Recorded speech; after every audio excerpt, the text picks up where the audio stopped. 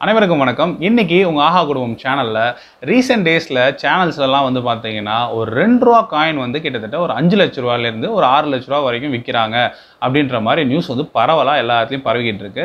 So உண்மையிலேயே அந்த ரெண்டு ரூபா காயினுக்கு அவ்வளோ வேல்யூ இருக்கா? இதோட உண்மைத்தன்மை என்னன்றதா இந்த வீடியோவில் நீங்கள் பார்க்க போகிறீங்க ஸோ ஒரு காயினோட ரேட் எப்படி அஞ்சு லட்ச ரூபாய்க்கு போச்சு? இதோட பேக்ரவுண்ட் என்ன? அதுவும் இந்தியன் கரன்சி ஏன் அவ்வளோ ரேட்டுக்கு விற்கிறாங்க அப்படின்ற ஃபுல் டீட்டெயில்டு வீடியோ தான் இந்த வீடியோவில் நீங்கள் பார்க்க போகிறீங்க ஸோ ரேர் காயின்னா என்ன? அது எவ்வளோ ரேட்டுக்கு போகும்? ரேர் காயினை நீங்கள் எப்படிலாம் கண்டுபிடிக்கலாம் அப்படின்ற வீடியோ தான் நீங்கள் பார்க்க போகிறீங்க இது உங்கள் ஆஹா குடும்பம் சேனல் நான் உங்கள் நவீன். வாங்க வீடியோக்குள்ளே போகலாம்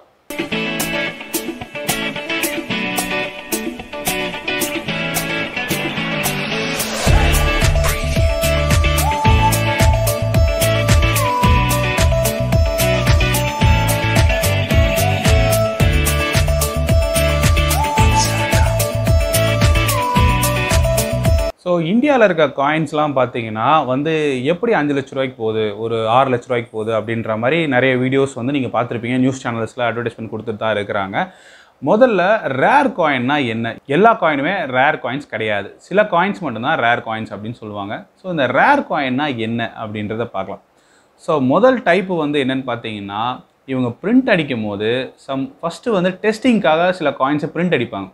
இந்தியன் கவர்மெண்ட்டில் நிறைய ஸ்டேட்ஸில் வந்து காயின்ஸை பிரிண்ட் பண்ணுறாங்க ஸோ ஃபஸ்ட்டு ஃபஸ்ட்டு ஒரு காயினை வந்து டிசைன் பண்ணி பிரிண்ட் பண்ணி எடுக்கிற காயின் வந்து ரொம்ப ரேரான காயின் அது வந்து டெஸ்டிங் காயின் அப்படின்னு சொல்லுவாங்க. அந்த டெஸ்டிங் காயினை வந்து புழக்கத்தில் விடுறதுன்றது ரொம்ப ரொம்ப கஷ்டம். சில நேரத்தில் புழக்கத்தில் விட்டுருவாங்க. அந்த காயின் கிடச்சதுன்னா ரொம்ப ரொம்ப வேல்யூ ஜாஸ்தி. ஏன்னா அந்த ஒரு காயின் ஒரே ஒரு காயின் மட்டும்தான் இருக்கும். அதில் வந்து சம் மார்க்கிங்ஸோட வந்து டெஸ்டிங் அப்படின்னு போட்டிருப்பாங்க. அது வந்து ரொம்ப ரேரான காயின் இப்போ ரெகுலர் காயினுக்கும் ரேரான காயினுக்கும் இது மட்டும்தானா அப்படின்னு நீங்கள் கேட்கலாம். அதை தாண்டி சில விஷயங்களும் இருக்குது ஸோ நான் என்கிட்ட இருந்த என்னோட உண்டியில் இருந்த சில காயின்ஸ்லாம் எடுத்து வச்சுருக்கேன். இது ரேரான ரேரான காயினா அப்படின்னு கேட்டிங்கன்னா எனக்கு தெரியாது. ஒரு எக்ஸாம்பிளுக்காக நான் கலெக்ட் பண்ண டீட்டெயில்ஸை வச்சு இது ரேரான காயின் அப்படின்னு நினச்சிக்கிங்க. அதை வச்சு உங்களுக்கு எக்ஸாம்பிளேஷன் எக்ஸாம்பிள் கொடுக்குறேன். அதை வச்சு நீங்கள் வந்து என்ஃபோர்த் ஏதாவது ஒரு காயின் கலெக்ட் பண்ணுறீங்கன்னாக்கா இது உங்களுக்கு யூஸ்ஃபுல்லாக இருக்கும். ஸோ இங்கே பார்த்தீங்கன்னா ஒரு செட் ஆஃப் காயின்ஸை நான் வந்து வச்சுருக்கேன். ஸோ இதில் என்னென்ன இருக்குது அப்படின்றத நான் சொல்கிறேன் வாங்க. ஸோ நான் முதலே சொன்ன மாதிரி ரேர் காயினுக்கும் ரெகுலர் காயினுக்கும் நிறைய வித்தியாசங்கள் இருக்குது ஸோ இங்கே வந்து பார்த்தீங்கன்னா இது வந்து ஃபிசிக்கலாக இருக்கிற ரேர் காயின்ஸ் எதடா ஃபிசிக்கலாக இருக்கிற ரேர் காயின்ஸ் நீங்கள் கேட்கலாம் சில நேரத்தில் ஃபிசிக்கலாக இருக்கிற ரேர் காயின்ஸும் இருக்குது வெயிட்டு வச்சு கூட ரேர் காயின்ஸ் இருக்குது என்னடா வெயிட் வச்சு கூட ரேர் காயின்ஸ் இருக்குன்னு நீங்கள் கேட்கலாம் ஸோ காயின்ஸில் சில நேரத்தில் வெயிட் டிஃப்ரென்ஸ் இருக்கும். அந்த காயினோட ரேட் ரொம்ப ஜாஸ்தியாக இருக்கும். ஸோ இங்கே ஒரு செட் ஆஃப் காயின்ஸை நான் இது பண்ணியிருக்கேன் என்கிட்ட இருந்த கலெக்ஷன்ஸில் வச்சு ஒரு ஒரு சின்னதாக ஒரு காயின் செலக்ட் கலெக்ஷன் நான் இங்கே வச்சுருக்கேன். ஸோ இப்போ இங்கே பார்த்தீங்கன்னா இதில் ஒரு சின்ன சின்ன எக்ஸாம்பிளை வச்சு சொல்கிறேன் பட் அதுக்கு முன்னாடி நான் சொல்கிறேன் இங்கே இருக்கிறது எதுவுமே ரேர் காயின்ஸாக இல்லை ரேர் காயின்ஸாக கூட இருக்கலாம் இல்லாமல் கூட போகலாம். இதில் சில காயின்ஸ்லாம் ரொம்ப வருஷமாக என்கிட்ட இருக்குது ஸோ அதை என்னன்ற என்னென்னன்றதை இங்கே பாருங்கள் ஸோ நான் முதலே சொன்ன மாதிரி இதெல்லாம் ஃபிசிக்கலாக இருக்கிற சம் காயின்ஸ் ஸோ இதில் எதெல்லாம் ரேரான காயின் என்ன கேட்டிங்கன்னா எனக்கு சத்தியமாக தெரியாது. ஏன்னா மார்க்கெட்டில் ஒவ்வொரு காயினுக்கு ஒவ்வொருக்கேற்ற மாதிரி ரேட்டு வச்சுருக்காங்க. ஜஸ்ட்டு என்கிட்ட இருந்த காயின்ஸை வச்சு ஒரு செட்டப் பண்ணியிருக்கேன் ஸோ இது பார்த்தீங்கன்னா அஞ்சு ரூபா காயின் ஃபர்ஸ்ட் லைனில் இருக்கிறது அஞ்சு ரூபா காயின் இதில் பார்த்தீங்கன்னா இங்கே ஒரு அஞ்சு ரூபா காயின் இருக்குது இங்கே ஒரு அஞ்சு ரூபா காயின் இருக்குது இதுவும் ஒரு அஞ்சு ரூபா காயின் தான். ஸோ இதில் பார்த்தீங்கன்னா கொஞ்சம் ஃபஸ்ட்டு ஃபேஸ்லேயே கொஞ்சம் டிஃப்ரென்ஸ் இருக்கும். இதில் கொஞ்சம் ஃபேஸ் டிஃப்ரென்ஸ் இருக்கும். இது வந்து பார்த்தீங்கன்னா இந்திரா காந்தி ச இந்திரா காந்தி அவர்களோட ஃபோட்டோ இருக்கும். இது மூணுமே அஞ்சு ரூபா தான் மூணோட வேல்யூவும் அஞ்சு ரூபா தான். ஆனால் இதோட வருஷங்கள் மாற மாற இதோட பிரிண்ட்டோட டைப் மாற மாற இதோட வேல்யூவும் ஜாஸ்தியாகுது இதோட டைப் பார்த்தீங்கன்னா ஒரு மெட்டலாக இருக்கும் இதோட டைப் ஒரு மெட்டலாக இருக்கும் இதோட டைப் ஒரு மெட்டலாக இருக்கும். இதெல்லாம் ஒரு எக்ஸாம்பிளுக்கு தான் நான் சொல்கிறேன் ஓகேங்களா? ஸோ இந்த ஃபஸ்ட் இருக்கிறது வந்து ரெகுலர் அஞ்சு ரூபா காயின் இந்த அஞ்சு ரூபா காயினை ஃப்ளிப் பண்ணுறேன் பாருங்கள் இதில் ஒரு ஃபோட்டோ இருக்கும். இதில் ஒரு ஃபோட்டோ இருக்கும். இந்த மாதிரி ஃபோட்டோ போட்டிருக்க காயின்ஸ்லாம் வந்து ரொம்ப லிமிட்டடாக தான் அடிப்பாங்க. ரெகுலராக இருக்கிற காயின்ஸையோட தவிர இது வந்து ரொம்ப லிமிட்டடாக தான் இருக்கும். இது வந்து சம் பீப்புளையோ சம் விஷயத்தை வந்து ரிமெம்பர் பண்ணுறதுக்காக பிரிண்ட் அடிப்பாங்க. அடுத்த காயினை ஃப்ளிப் பண்ணுறேன் பாருங்கள் இந்த காயினை வந்து நம்ம ரெகுலராக யூஸ் பண்ணுற காயின் ரெகுலராக இந்தியாவில் இருக்கிற காயின் பின்னாடி பார்த்தீங்கன்னா நம்ம அந்த மூணு சிங்கம் ஃபோட்டோ எப்பயுமே இருக்கும். இது வந்து ரெகுலராக இருக்கிறது. ஸோ இந்த காயின் இந்த காயின் வித்தியாசம் பார்த்தீங்கன்னா இதுக்கு வேல்யூ ஜாஸ்தியாக இருக்க நிறைய வாய்ப்புகள் இருக்குது ஏன்னா இது வந்து இன்கேஸ் வெறும் பத்தே பத்து காயின் தான் பிரிண்ட் அடிச்சிருக்காங்க அப்படின்னாக்கா இதோட வேல்யூ ஜாஸ்தி. ஸோ இந்த காயின் இங்கே இருக்க காயின் பார்த்தீங்கன்னா இந்திரா காந்தி அவர்கள் ஃபோட்டோ போட்ட காயின் இது நிறைய பேர் பார்த்துருப்பீங்க நிறைய பேர் பார்க்கறதுக்கான வாய்ப்புகள் கம்மி தான். இது வந்து ரொம்ப நாளைக்கு முன்னாடி பிரிண்ட் ஆன ஒரு அஞ்சு ரூபா காயின் சைஸ் வித்தியாசம் உங்களுக்கு நல்லாவே தெரியும். இதுக்கப்புறம் ரொம்ப சின்னது அப்புறம் ரொம்ப சின்ன சின்னதாக ஆயிடுச்சு. இது வந்து முதல்ல இருந்த எனக்கு தெரிஞ்ச வரைக்கும் சொல்கிறேன் ரொம்ப பழைய காயின் இது. இது ரேரான காயினான்னு கேட்டிங்கன்னா எனக்கு தெரியாது. ஸோ இந்த மாதிரி வித்தியாசங்களை வச்சு தான் அது ரேரா ரேர் இல்லையான்றதை நீங்கள் பிரிக்க முடியும். ஸோ ஃபஸ்ட்டு அஞ்சு ரூபா காயின் பார்த்தோங்களா அது மாதிரி ரெண்டு ரூபா ஒரு ரூபா கொஞ்சம் பழைய காயின்ஸ்லாம் நீங்கள் வச்சுருக்கேன். இந்த ரெண்டு ரூபா காயினும் ஃபஸ்ட்டு அஞ்சு ரூபா சொன்ன மாதிரி தான். இது ரெகுலராக இருக்க காயின் பின்னாடி திருப்பிங்கன்னா நம்ம ரெகுலராக என்ன இருக்குமோ அதான் இருக்கும். இது வந்து பார்த்தீங்கன்னா சம் ஃபோட்டோஸ் போட்டிருக்காங்க. இங்கே வந்து சம் டீட்டெயிலிங்ஸ் கொடுத்துருக்காங்க. இதில் என்னன்னு பார்த்தீங்கன்னா water for life world food day அப்படின்னு சொல்லி அந்த ரெண்டு நாளை குறிக்கிற மாதிரி சம் டீட்டெயிலிங் கொடுத்து பிரிண்ட் அடிச்சிருக்காங்க. இதுவும் கம்மியான காயினாக கூட அடிச்சிருக்கலாம். அடுத்தது இங்கே பார்த்தீங்கன்னா சுப்ரீம் கோர்ட் ஆஃப் இந்தியா அப்படின்னு சொல்லிட்டு அவங்களோட ஒரு டேவை ரிமெம்பர் பண்ணுறதுக்காக இந்த காயினை பிரிண்ட் அடிச்சிருக்காங்க. இதெல்லாம் நீங்கள் ரெகுலராக பார்க்கக்கூடிய காயின் தான். ஆனால் இதே வந்து இந்த காயின் வெறும் பத்தே பத்து காயின் தான் இருக்குன்னா இதோட வேல்யூ ஜாஸ்தி. ஸோ அப்படியே கீழே இறங்குனீங்கன்னா இங்கே ஒரு ஒரு ரூபா காயின் வச்சுருக்கேன். இந்த ஒரு ரூபான்றது ரொம்ப பழைய காயின் இப்போது இந்த மாதிரி காயின் பார்க்க முடியறதில்ல. இப்போ வர்றது எல்லாமே சின்னதாக இருக்கிற ஒரு ரூபா காயின் தான். இது ரெகுலராக இருக்க ஒரு ரூபா காயின் இந்த ஒரு ரூபா காயினை ஃப்ளிப் பண்ணிங்கனாக்கா ரெகுலராக இருக்கிற எல்லா காயின்ஸில் இருக்கிற மாதிரி அந்த மூணு தலை இருக்கிற சிங்க ஃபோட்டோ இருக்கும் இந்தியான்னு போட்டிருக்கோம். இது வந்து ரெகுலராக இருக்க ஒரு ரூபா காயின் பட் இந்த காயினை பார்த்தீங்கன்னா சம் விவசாயியோட ஃபோட்டோ போட்டு அதோட ரிமெம்பர்ஸ்க்காக பிரிண்ட் அடிச்சிருக்க காயின் இந்த டேட்டு பார்த்தீங்கன்னா ஆயிரத்தி தொள்ளாயிரத்தி எண்பத்தி ஒன்றில் இந்த பிரிண்ட் பண்ண காயின் இந்த காயின் இதுவும் இன்கேஸ் இது வந்து உலகத்திலே வந்து நம்ம ஊர்லேயே வந்து வெறும் பத்தே பத்து காயின் இருந்தால் இதோட வேல்யூ ஜாஸ்தி. அப்படியே கீழே இறங்கினோம் பார்த்தீங்கன்னா அடுத்து இந்தியாவோட ஒரு மூணு பைசா காயின் ஒன்று கிடச்சிது எங்கிட்ட இது எப்படி வந்ததுன்னு எனக்கே தெரியல. என்னோட என்னோடய பாக்ஸில் இந்த மூணு பைசா காயின் இருந்துச்சு. பக்கத்தில் இருபது பைசா காயின் இருந்துச்சு. இது ரெண்டுமே கொஞ்சம் ரேரான காயின் கேட்டிங்கன்னா இருக்கலாம். வாய்ப்புகள் அதிகம். இந்த மாதிரி தான் நீங்கள் சூஸ் பண்ணி எடுக்கணும். எவ்வளோக்கு எவ்வளோ பழைய காயின் இருக்கோ அதுக்கு ஏற்ற மாதிரி வேல்யூ ஜாஸ்தி. அதே மாதிரி உங்ககிட்ட இந்த பழைய காயின் இருந்து இந்த மூணு பைசா காயின் நூறு காயின் இருந்தாக்கா அதோட மதிப்பு டபுள் த டைம் இன்க்ரீஸ் ஆக வாய்ப்புகள் ரொம்ப ரொம்ப அதிகம். இந்த இருபது பைசா காயினை இப்போ ஃப்ளிப் பண்ணுறேன் பாருங்கள் இப்போ இந்த இருபது பைசா காயினை ஃப்ளிப் பண்ணாக்கா பின்னாடி சம் மீனவர்களுக்கு ரெமெம்பர் பண்ணுற மாதிரி ஒரு எம்பளம் அடிச்சிருக்காங்க. இதில் ரெண்டு ரெண்டு ஃபிஷர்மேன் வந்து மீன் பிடிக்கிற மாதிரி ஃபோட்டோஸ் இருக்குது இதுவும் ரேரான காயின் தான். இந்த மாதிரி தான் நீங்கள் உங்கள் காயின் கலெக்ஷனை நீங்கள் ரெடி பண்ணணும். ஒவ்வொரு தரைக்கும் ஒரு காயினை நீங்கள் வா எடுக்கிறீங்கன்னா அது மற்ற காயினோட எப்படி டிஃப்ரென்ஸ் இருக்குன்றதை ஃபஸ்ட்டு பாருங்கள் அதோட வருஷங்களை பாருங்கள் அதுக்கேற்ற மாதிரி நீங்கள் நீங்கள் எடுக்க வர எடுத்து வைக்க ஆரம்பிச்சிங்கன்னா அதோட வேல்யூ வந்து உங்களுக்கு ஜாஸ்தியாக கிடைக்கிறதுக்கு நிறைய வாய்ப்புகள் இருக்குது நிறைய குவான்டிட்டியில் எடுத்து வைங்க. அடுத்தது கீழே ரெண்டுக்கு ரெண்டு செட்டப் வச்சுருக்கேன். என்னென்னு பார்த்தீங்கன்னா இது வந்து மகாத்மா காந்தி ஃபோட்டோ போட்ட பழைய இந்தியன் காயின் பக்கத்துலேயே பத்து பைசா காயினும் வச்சுருக்கிறேன். அப்படியே கீழே வந்தீங்கன்னாக்கா இங்கே வந்து யூஎஸ் டாலர்ஸ் அமெரிக்காவோட பழைய ரெண்டு காயின் வச்சுருக்கேன். இது ரெண்டும் பழசான்னு எனக்கு தெரியாது. ஏன்னா அவங்க அவங்களோட நாட்டோட பழக்கம் என்னன்னு எனக்கு தெரியாது. இது ரெண்டும் என்கிட்ட ரொம்ப நாளாக இருக்குது ஸோ இந்த மாதிரி தான் நீங்கள் உங்கள் காயின் கலெக்ஷனை வைக்கணும். இந்த மாதிரி கொஞ்சம் டிஃப்ரெண்ட்டாக இருக்க காயின்ஸை நீங்கள் எடுத்துட்டிங்கனாலே உங்கள் காயின் கலெக்ஷனில் ஒரு வேல்யூவான நீங்கள் ஒரு கலெக்டராக நீங்கள் இருப்பீங்க. அது மட்டும் இல்லாமல் இந்த காயின்ஸை ஒவ்வொரு தடவைக்கு எடுத்து வைக்கும் போது சம் சோஷியல் சைட்ஸில் இந்த இந்த காயினை பற்றி நல்லா தெரிஞ்சவங்ககிட்ட கேட்டிங்கன்னா உங்கள் காயின் கலெக்ஷன் வந்து கரெக்டாக போகுதா அப்படின்ற கைடன்ஸ் உங்களுக்கு நல்லாவே கிடைக்கும். எனக்கு தெரிஞ்ச டீட்டெயிலிங்ஸ் வச்சு இந்த காயின் கலெக்ஷன் உங்களுக்கு நான் சொல்லியிருக்கேன். ஓகேப்பா நீ சொல்கிறது எல்லாமே சரிதான். நீ சொல்கிறது எல்லாமே கரெக்டு தான். இப்போ இருக்க எக்கனாமியில் இந்த மாதிரி நான் தனித்தனியாக பிரித்து வைக்கிறது தேவையா அப்படின்னு நீங்கள் கேட்குறது எனக்கு நல்லாவே தெரியுது. இன்கேஸ் இப்போ என்கிட்ட இருக்கிற இந்த அஞ்சு ரூபா காயின் இந்திரா காந்தி அவர்களோட ஃபோட்டோ போட்ட இந்த அஞ்சு ரூபா காயின் என்கிட்ட இருக்குது இது கிட்டத்தட்ட ரொம்ப வருஷமாக இருக்குது எங்கள் அப்பா கிட்டேருந்து என்கிட்ட மாறி இப்போ என்கிட்டேருந்து என் பாப்பா கிட்ட மாறுதுன்னு வைங்களேன் அவங்க டைமில் இந்த காயின் எக்ஸிஸ்டிங்கே இல்லை. அதாவது புழக்கத்திலே இல்லை. வேற காயினே கிடையாது. இந்த ஒரு காயின் தான் இருக்குன்னா இந்த காயினோட மதிப்பு என் பொண்ணு சொல்கிற ரேட்டு தான். உங்களுக்கு புரிஞ்சிருக்கும்னு நினைக்கிறேன். ஸோ இந்த ஒரு காயின் இந்த அஞ்சு ரூபா காயினை நான் எடுத்து வைக்கிறதுனால ஒரு இருபது வருஷம் கழித்து இந்த காயினோட ரேட் டபுள் த டைம் ஆகலாம். இதே காயினை வந்து ஒரு அவள் சின்ன வயசில் வரும்போது ஒரு பத்து லட்ச ரூபாய்க்கு விற்க முடிஞ்சால் வேல்யூ தானே? ஸோ இந்த டேஸ் வந்து தள்ளி போகலாம். இல்லை டேஸ் குறைஞ்ச டைம்லேயும் இந்த காயினோட ரேட்டு ஏறலாம். இப்போ ரீசெண்டாக அந்த ரெண்டு ரூபா காயின் வந்து அஞ்சு லட்ச ரூபாய்க்கு விற்கிறதா சொல்லியிருக்காங்க. அது என்ன ஏதுன்றதை நான் அடுத்தடுத்து நான் சொல்ல போகிறேன் ஸோ இந்த காயின் கலெக்ஷனில் உங்களுக்கு முக்கியமான ஒரே விஷயம் ப்ராஃபிட் தாங்க.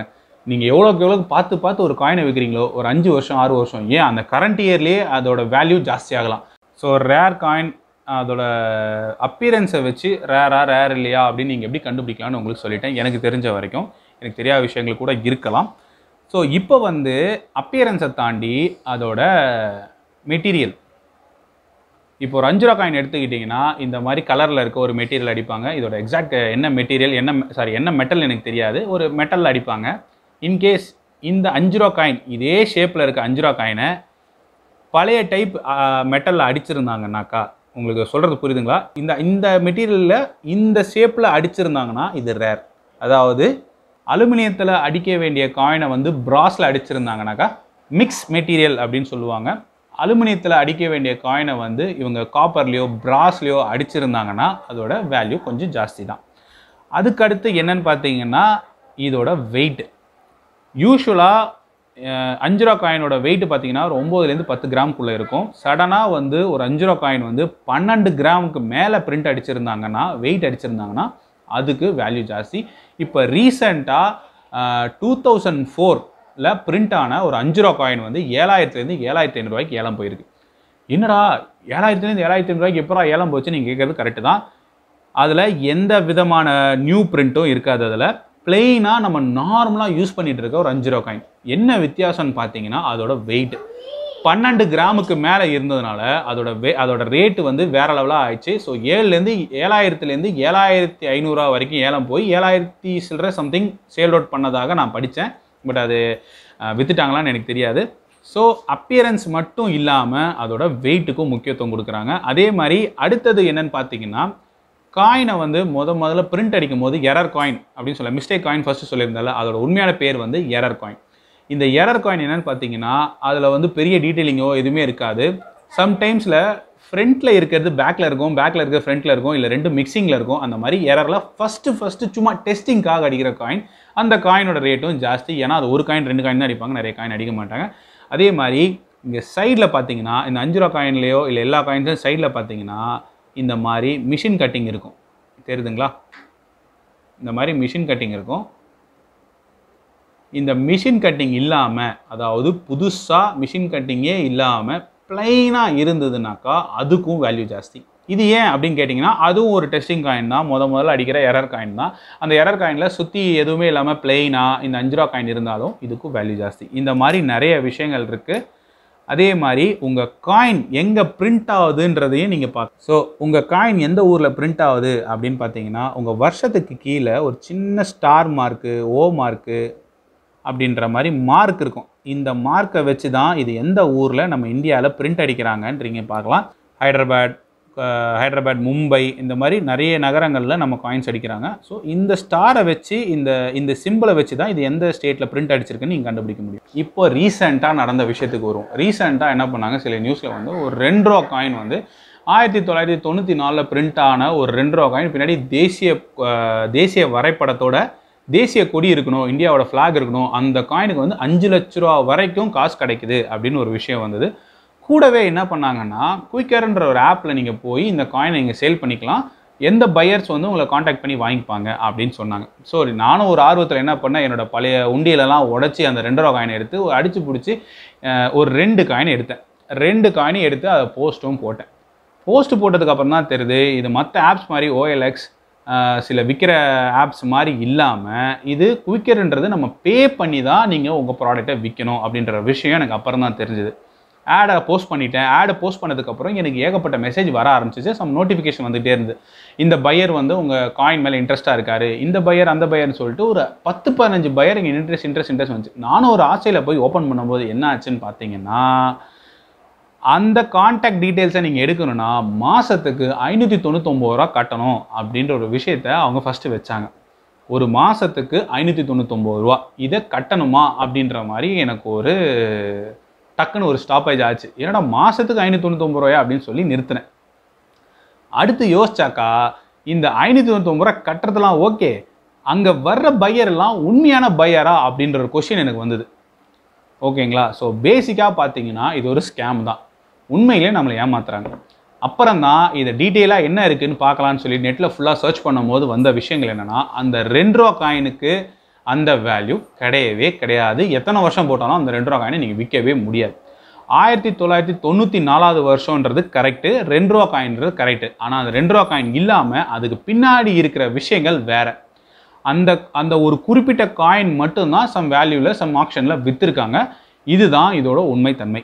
ஸோ இது என்ன அப்படின்னு பார்த்தீங்கன்னா ஒரு சைட்டை ப்ரொமோட் பண்ணணும் அப்படின்ற ஒரு விஷயத்த ஒரு பரபரப்பான ஒரு விஷயத்தை முன்னிறுத்தினாக்கா எல்லாரும் அந்த சைட்டை போய் பார்ப்பாங்க. எனக்கு தெரிஞ்சு அந்த குயிக்கரோட ஆப்பை வந்து கிட்டத்தட்ட இந்தியாவில் பாதிக்கு பாதிக்கு பேர் டவுன்லோட் பண்ணி அந்த காயினை போஸ்ட் பண்ணியிருப்பாங்க. ஏன்னா நான் போஸ்ட் பண்ணுறதுக்கு முன்னாடியே கிட்டத்தட்ட பத்து பதினஞ்சு பேர் வந்து அந்த கா- அந்த காயின் வந்து போஸ்ட் பண்ணியிருந்தாங்க. அந்த வருஷம் இல்லாமல் சில வருஷங்களையும் போஸ்ட் பண்ணியிருந்தாங்க. ஸோ இது என்னன்னு கேட்டிங்கன்னா ஒரு பேசிக்காக நம்ம நடுவில் ஒரு பரபரப்பை ஏற்படுத்தி அந்த ஆப்பை டவுன்லோட் பண்ணி அவங்களுக்கு காசு சம்பாதிச்சு கொடுக்கணும். இதுதான் இதோட ஃபுல் நோக்கம். இது நியூஸ் சேனல் ஏன் பண்ணுறாங்கன்னா ஆமாம் அவங்க காசு வாங்கிட்டு நீங்கள் விற்கலாம் அப்படின்னு சொல்கிறாங்க சம்டைம்ஸில் சில நேரத்தில் நீங்கள் அந்த காயினை விற்கவும் முடியும். ஆனால் அந்த காயின் ரொம்ப ரேராக இருந்தால் மட்டும்தான் விற்க முடியும். ஏன்னா நான் அந்த இந்த விஷயம் நடந்ததுக்கப்புறம் நிறைய விஷயங்கள் நான் சர்ச் பண்ணதில் இந்தந்த டீட்டெயில்ஸ்லாம் எனக்கு கிடச்சிது. ஸோ ரேர் காயின் அப்படின்னு பார்த்தாக்கா அது ஒன்று எரர் காயினாக இருக்கணும். சில நேரத்தில் அது ரொம்ப ரொம்ப கம்மியான குவான்டிட்டியில் அடிச்சிருக்கணும். அதோட ஃபிசிக்கல் அப்பியரன்ஸ் டிஃப்ரெண்ட்டாக இருக்கணும். வெயிட் ஜாஸ்தியாக இருக்கணும். இந்த மாதிரி நிறைய விஷயங்களை வச்சு தான் அவங்க ரேர் காயின் அப்படின்னு பிரிக்கிறாங்க. அதே மாதிரி சில நேரத்தில் வந்து இந்த டீட்டெயில்ஸ் இல்லாமல் ரொம்ப பழைய காயின் அதாவது நம்ம சுதந்திரம் அடையறதுக்கு முன்னாடி சில காயின்ஸ்லாம் நம்ம புழக்கத்தில் இருக்கும். அந்த காயினுக்கு வேல்யூ ஜாஸ்தின்னு தான் சொல்கிறாங்க அதே மாதிரி ஒரு ஒரு ரூபா நோட்டு வந்து ஐம்பதாயிரம் வரைக்கும் போகுது அப்படின்னு சொல்லி ஒரு ஒரு பொருளை கிளப்பி விட்டாங்க நோட்டில் அந்த ஒரு ரூபா நோட்டு வந்து ஒரு நோட்டுக்கு இல்லை ஒரு பண்டிலுக்கு அப்படின்னு சொல்லி அவன் சைட்டில் போட்டிருக்காங்க. ஒரு பண்டில் அந்த ஒரு ரூபா நோட்டு வந்து கிட்டத்தட்ட ஒரு முப்பது நாற்பது நோட் மொத்தமாக சேர்த்து ஒரே சீரியலில் ஃபேன்சி சீரியலில் ரிலீஸ் ஆன அந்த ஒரு ரூபா நோட்டுக்கு அந்த வேல்யூ ஐம்பதாயிரம் அப்படின்னு போட்டு. ஸோ ஃபுல்லாக சொல்லாமல் நமக்கு கொஞ்சம் மேலாப்பில் சொல்லி நம்ம ஆசையை தூண்டி விட்டு நம்மக்கிட்டேருந்து காசு பறிக்க தான் பார்க்குறாங்க இதுலேயும் ஸோ நீங்கள் ஒரு காயின் கலெக்டராக இருக்கிறீங்க அப்படின்னா இல்லை பேசிக்காக இப்போ தான் ஆரம்பிக்க போகிறேன்னா ஃபுல்லாக அதை பற்றி ஃபுல்லாக அனலைஸ் பண்ணுங்கள் ஃபுல்லாக அதை பற்றி படிங்க. நம்ம வீட்லேயே நமக்கு தெரியாமலே நிறைய காயின்ஸ் வச்சுருப்போம். என் முன்னாடி இருக்கிற காயின்ஸே கிட்டத்தட்ட எங்கிட்ட ஒரு எனக்கு தெரிஞ்சு நான் சின்ன வயசுலேருந்து நான் பார்த்துக்கிட்டு இருக்க காயின் ரசிச்சுட்டு இருக்க காயின் இதெல்லாம். ஸோ முடிஞ்ச வரைக்கும் உங்கள் காயின்ஸை நல்லபடியாக வச்சுங்க. அதே மாதிரி அஞ்சாவது ஒரு விஷயம் சொல்ல மறந்துட்டேன். உங்கள் காயினோட அப்பியரன்ஸ் ஒரு காயின் எடுத்து வைக்கிறீங்கன்னாக்கா அது எந்த அளவுக்கு புதுசாக இருக்கோ அந்த அளவுக்கு அதோட வேல்யூ இன்னும் ஜாஸ்தியாகும். ஸோ இது வரைக்கும் எங்களால் முடிஞ்ச வரைக்கும் இந்தியாவோட காயின்ஸை பற்றி உங்களுக்கு டீட்டெயில்ஸ் கொடுத்துருக்கோம். நீங்கள் காயின் கலெக்டராக இருக்கிறீங்கன்னாக்கா நிறைய சைட்ஸ் போங்க நிறைய விஷயங்களை பா நிறைய விஷயத்த படிங்க. படித்ததுக்கப்புறம் அதை கேதர் பண்ணுங்கள் அதே மாதிரி உங்ககிட்ட இருக்க வச்சிருக்க காயின்ஸை வந்து நிறைய பேர் வந்து சில ஆயங்களை கொடுத்து கூட உங்ககிட்ட வாங்க சான்சஸ் இருக்குது அதோட ரேட்டு ஜாஸ்தியாகவும் இருக்கும். நிறைய இடத்துல செக் பண்ணி அதை விற்க ட்ரை பண்ணுங்கள் ஸோ இந்த வீடியோ உங்களுக்கு பிடிச்சிருக்கும் நான் நினைக்கிறேன். இந்த வீடியோ உங்களுக்கு பிடிச்சிருந்தா லைக் பண்ணுங்கள் ஷேர் பண்ணுங்கள் கமெண்ட் பண்ணுங்கள் மறக்காமல் சப்ஸ்கிரைப் பண்ணுங்கள் ஆஹா குடும்பம் சேனலுக்கு நன்றி வணக்கம்.